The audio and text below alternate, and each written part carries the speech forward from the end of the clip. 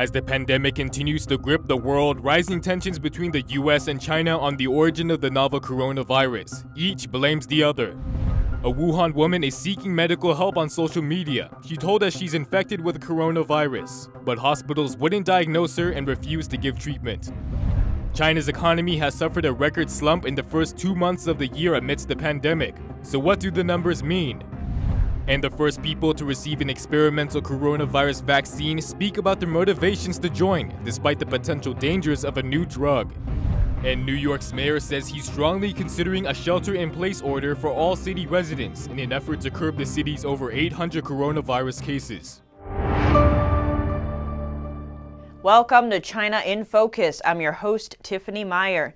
As the world battles the coronavirus, a different kind of war is going on a war of names. For the first time, President Trump used the name Chinese virus in a tweet, and a spokesman for the Chinese Foreign Ministry, Geng Shuang, is not happy.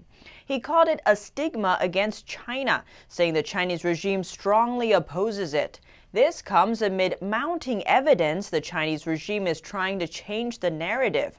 When Chinese Foreign Ministry spokesperson Zhao Lijian posted a video claiming the virus did not originate in China, but rather was brought in by the U.S. military.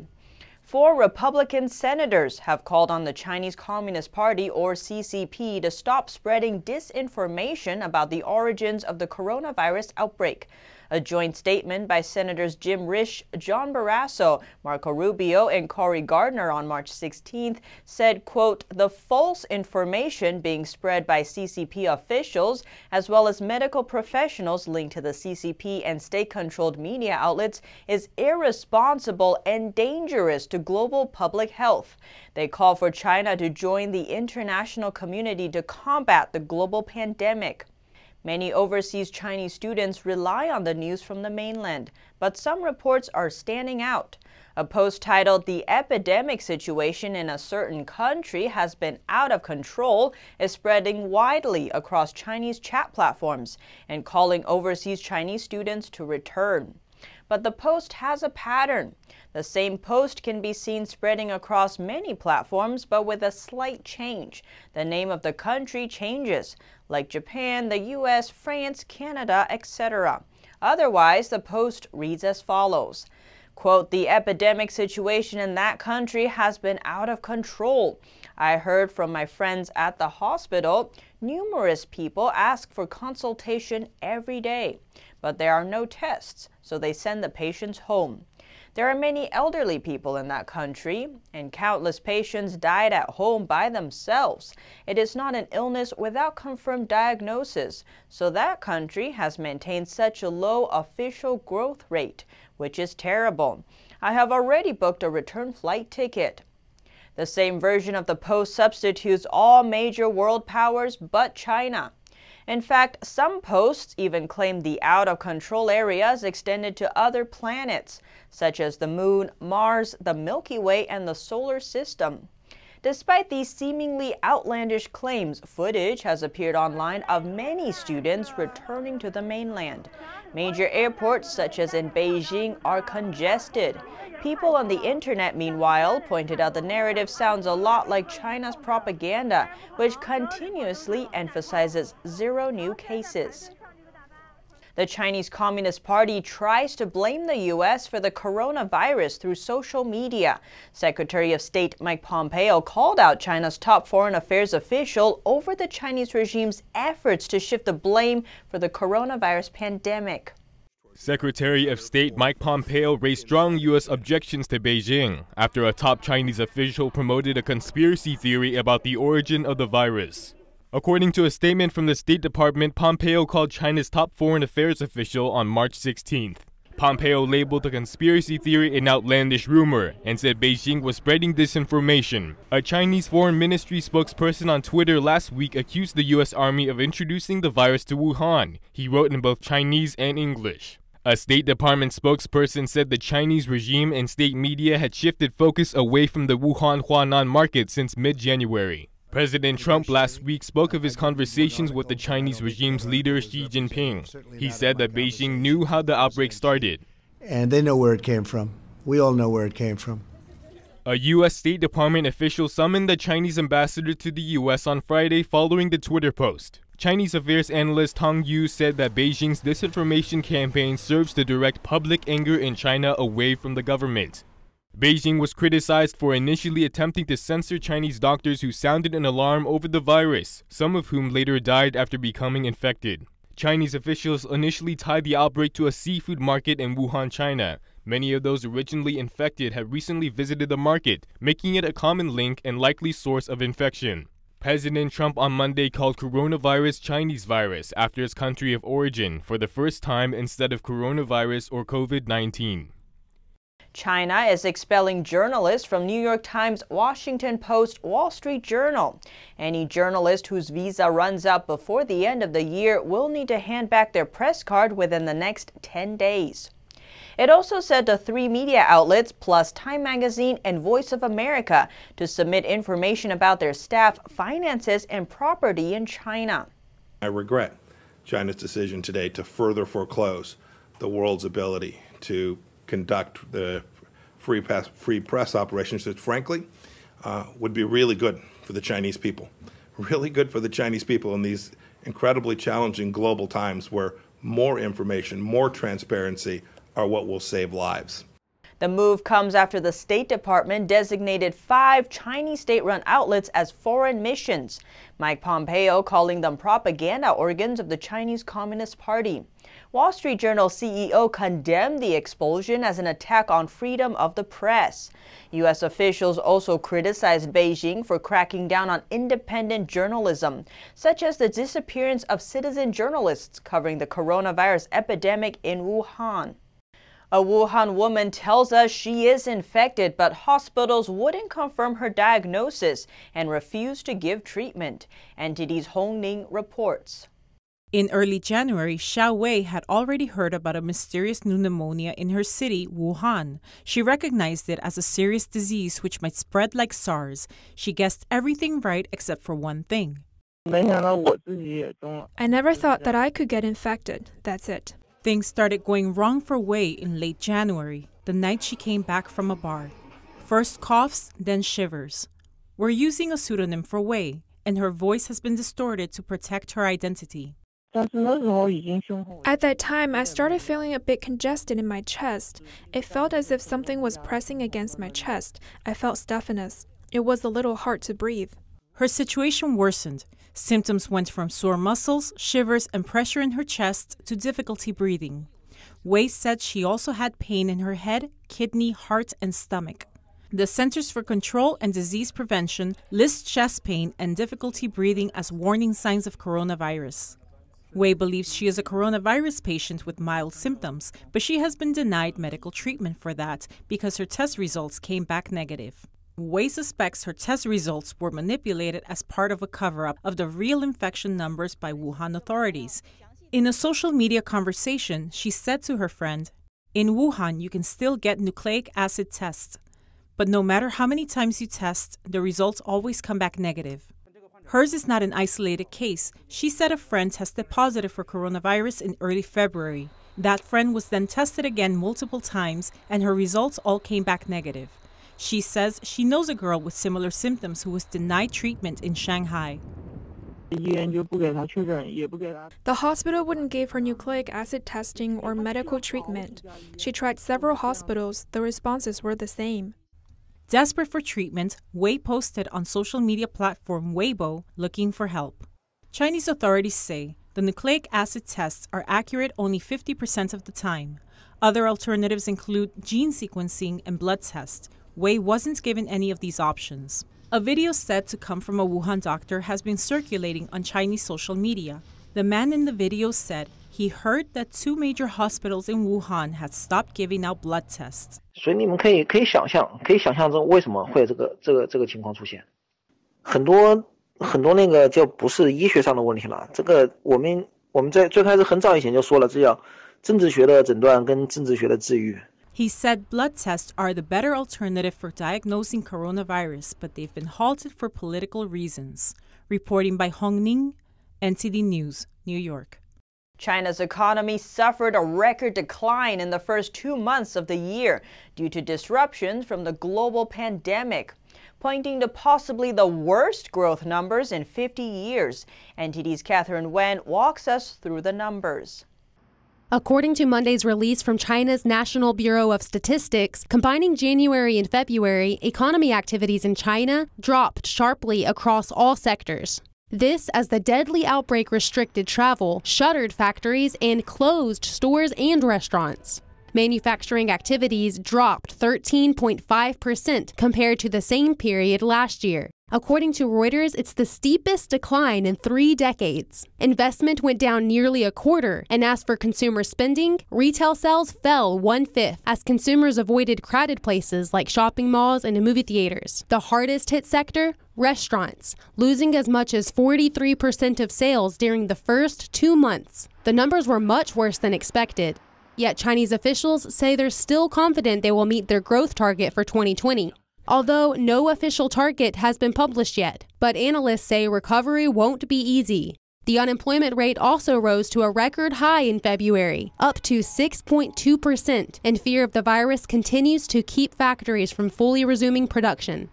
Dutch bank ING cut its forecast of China's first quarter growth to 3.6%. That would be the weakest since at least the 1970s. Some others expect the first quarter growth to even go negative. Last Friday, China's central bank cut interest rates for the second time this year, releasing 550 billion yuan, that's 79 billion US dollars, to save its economy. Catherine Wen, NTD News. And now to an experimental coronavirus vaccine. The first people to receive a dose of it talk about their motivation to join the trial, despite the potential dangers of getting exposed to a new drug. The first people to roll up their sleeves for an experimental vaccine to fight the new coronavirus say they were inspired to help as they watch the pandemic sweep across the globe. You know, there's obviously a certain amount of nerves associated with it, you know, as any experimental trial is going to be. You know, I, I hope it works. I hope there is no crazy side effects. And, you know, I was debriefed pretty thoroughly before entering this of what the possible risks were. The four study participants got a jab in the arm on Monday as the first COVID 19 vaccine experiment got underway in Seattle. They said it was no more painful than a flu shot. They're part of a test that will ultimately give 45 healthy volunteers two doses a month apart. Fortunately, I'm, you know, in in my current state of health, I don't have too much to worry about, but I know it is it's not really about just me and you, it's about how this will affect the population as a whole. The Seattle experiment is one of several worldwide efforts to test potential COVID 19 vaccines. Even if the research goes well, experts say a vaccine wouldn't be available for widespread use for another 12 to 18 months. The government is also preparing to protect the elderly. Any of the 62 million on Medicare will now be able to see their doctor from home via video chat. Trump called the move a historic breakthrough. Before, only people living in rural areas would be covered for telehealth services. But now, all people who receive Medicare will be able to talk to their doctors from home. People receiving Medicare are 65 and older, the most vulnerable to the virus. Even if they aren't experiencing virus like symptoms, getting care from home protects them from being unnecessarily exposed. Perhaps an elderly patient with diabetes needs routine checkup and this has nothing to do with the coronavirus. And so, with our new telehealth benefits, this person who's not really uh, who's at risk for the coronavirus doesn't have to venture outside their home. And Trump said they are lifting telehealth restrictions on the states. Again, we're working with the states and relying on the states. We have to. They are also temporarily relaxing privacy regulations, allowing doctors to use their own phones to talk with patients. Melina Wisecup, NTD News. And in New York City, Mayor Bill de Blasio says he's strongly considering a shelter in place order for all city residents, an effort to curb the city's over 800 coronavirus cases. I think New Yorkers should be prepared right now for the possibility of a shelter in place order. It has not happened yet, but it is definitely a possibility at this point. De Blasio says that New York could go into lockdown soon, adding that the decision should be made in the next 48 hours.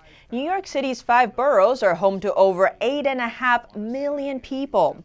That's even more than San Francisco's 7 million, who are already under shutdown and are permitted outside only for essential reasons. The U.S. government may be about to send checks to Americans immediately to help them get ready for a potential coronavirus outbreak. It'd be part of a larger stimulus package to boost the economy. In an effort to cushion the economic blow of the virus on American workers, a top U.S. official said they're looking to send checks to them immediately. We're looking at sending checks to Americans immediately. And what we've heard from hardworking Americans, many companies have now shut down, whether it's bars or restaurants. Americans need cash now, and the president wants to get cash now. And I mean now in the next two weeks. Mnuchin did not give an amount of money, but right now they're rumored to be $1,000 checks. The Treasury Secretary also alluded to limiting them to people under a certain income. The measure is part of a broad stimulus package, and President Trump said it's going to be big. With this invisible enemy, we don't want airlines going out of business. We don't want people losing their jobs or not having money to live when they were doing very well just four weeks ago. So we're going big, and that's the way it'll be. After speaking with the Senate Republicans, Mnuchin said the package would inject $1 trillion into the economy. We've put a proposal on the table that would inject a trillion dollars into the economy. Now, let me just say uh, this is a combination of loans, this is a combination of direct checks to individuals, this is a combination of creating liquidity for small businesses. Mnuchin said he expects bipartisan support for the stimulus package. Miguel Moreno, NTD News. And a bill that makes testing free for everyone in the U.S. was passed in the House last night.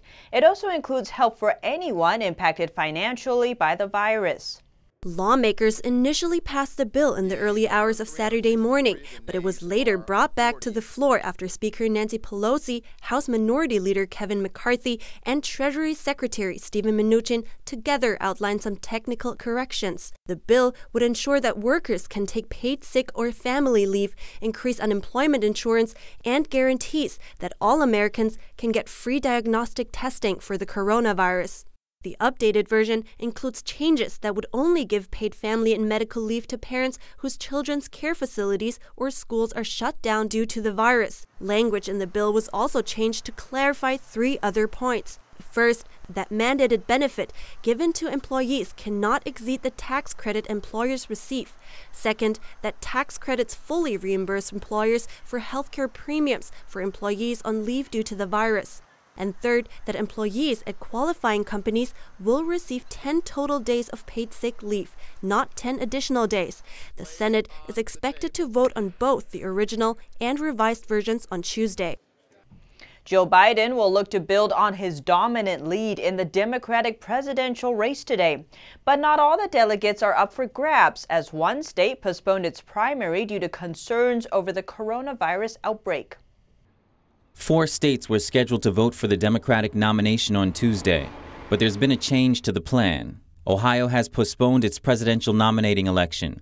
Governor Mike DeWine said the public health emergency caused by the coronavirus makes it too dangerous. He first sought the approval of the courts to move the election, but Judge Richard Frye rejected the request. Secretary of State Frank LaRose then appealed the decision, and Tuesday morning the Supreme Court officially allowed the polls to be closed. The only thing that takes precedent over a free and fair election, the only thing, would be the health and safety of Ohioans. And that's exactly what the decision that the governor had to make tonight was.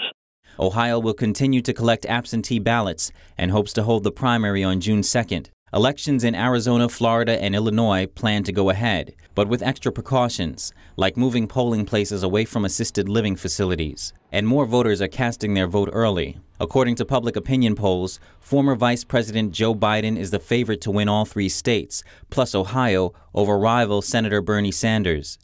There are 441 delegates at stake in Florida, Illinois, and Arizona, and a sweep would make it increasingly unrealistic that Sanders could catch up. Meanwhile, other states, including Georgia, Louisiana, and Kentucky, also postponed primaries set for the coming months. And countries around the world are taking new measures to stop the spread of the virus as the number of infections increases. European nations are enacting countrywide lockdowns following Canada blocking its borders to all but its own and U.S. citizens. Spain is already turning back cars at land borders as the death toll reaches near 500. They are only asking for identification, the national card, nothing else. They should test us for fever because, in the end, it's a checkpoint, but just for identification. Spain's 47 million people have been under partial lockdown since Saturday night, allowed to leave their homes only to go to work, buy food, or visit a pharmacy or hospital. Friedrich Merz, one of the major potential candidates to succeed Angela Merkel as German Chancellor, is now infected with the coronavirus. Merz on Tuesday told local media that he will remain home in quarantine until the end of next week. And soccer's 2020 European Championship has been postponed for 12 months. The competition was meant to take place in June and July this year in 12 countries, but the coronavirus outbreak has those plans scrapped. It's the first time in the history of the European Championships that it will have been postponed, and India has also closed its principal tourist sites, including the Taj Mahal, after the nation's cases surged. Confirmed cases stand at 142 as of Tuesday evening. In Australia, Woolworths, one of the two major grocers, on Tuesday introduced an exclusive shopping hour for the elderly and those with disabilities. I've been coming up every day, and for, oh, I can't remember the last time I was able to buy toilet roll on the shelves. Supermarkets in Australia have also imposed tighter purchase limits on certain items by the day as Aussies begin to stockpile goods. The European Union is asking its members to turn away foreigners who want to enter the bloc for the next 30 days.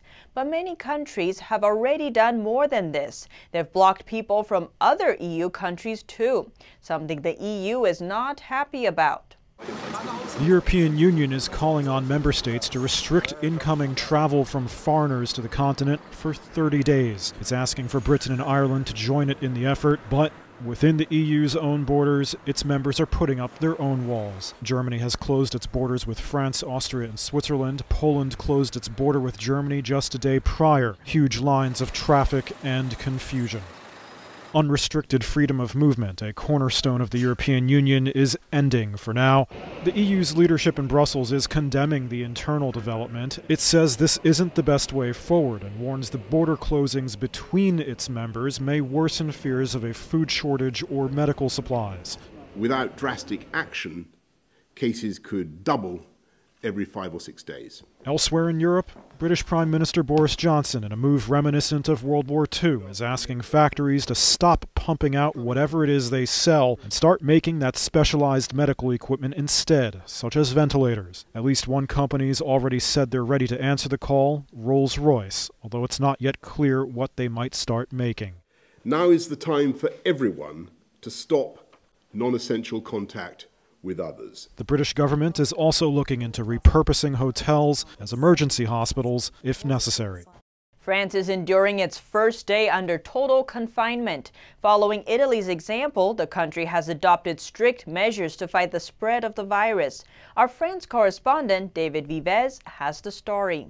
The trendy neighborhood of Les Marais in Paris is usually filled with people in cafes and restaurants during lunch hour. But the area was practically empty on Tuesday as the official 15 day confinement period began in France. From famous tourist sites like the Champs Elysees to Paris City Hall Hotel de Ville, the scene remains the same a city full of empty streets. Restoration work has stopped at the Notre Dame Cathedral, as well as at the majority of businesses in the country. I've lived in Paris since 1974, and I never see something like this. So I think this evening I'll visit my neighbor and play a card game. But even this simple activity is now prohibited, according to Security Minister Christophe Castaner. To give you some examples, a family lunch, dinner with friends, a football game with friends, a game of cards, all of that which might not seem important normally is now forbidden, not just discouraged, but forbidden. People are strictly controlled on the streets unless they go out for a reason, like going to buy food, exercising, walking the dog, or visiting an ill parent. They are arrested and fined around $50 for the first arrest and $170 if they are arrested again. People need to show a piece of paper like this as a proof they have a reason to go out. 100,000 police, including military police, are on patrol to put these controls in place. Only a few people are allowed outside, like taxis whose priority is to provide free transportation to healthcare workers. Taxi driver Boutayeb says he chose to work in order to help others. We can transport people. This morning I drove a nurse to the state council. We're not forced to be confined if we want. The strict measure is in order to help curb the spread of the virus, which so far has killed 175 and infected more than 7,700. Report by David Vives, NTD News. Airlines across the globe are feeling the pain as travel demand withers because of the coronavirus outbreak. Several have scrapped flights and ditched financial forecasts. American Airlines plans to cut 75% of its international flights through May 6th and ground nearly all of its wide body fleet. Chicago based United Airlines said it would cut corporate officers' salaries by 50% and reduce flight capacity by about 50% in April and May. The company also expects deep capacity cuts into the summer travel period. Delta says it has seen net bookings fall by 25% to 30% and that it expects the situation to get worse. The airline is cutting its domestic capacity by 10% to 15% and international by 20% to 25%, freezing hiring, offering voluntary leave options to staff, and looking at early retirement of older aircraft. Southwest Chief Executive Officer Gary Kelly is taking a 10% pay cut and was quoted in a media report as saying the carrier may ground airplanes and grant employees leaves of absence if conditions continue to deteriorate. According to the report, Southwest will also take other steps to reduce costs, such as freezing hiring for non frontline workers. With a sizable amount of companies' employees working from home, a growing list of schools shifting instruction online, and panic and confusion setting in, scammers are finding new targets. Between 2013 and 2019, the FBI says nearly $150 million was paid out because of ransomware attacks. Working outside of your company or school's secured network could pose safety risks. Cybersecurity expert Laura Gell warns people to stay cautious about suspicious emails and website links. For example, clicking on a link that has malware. And it just encrypts all your data sort of instantly.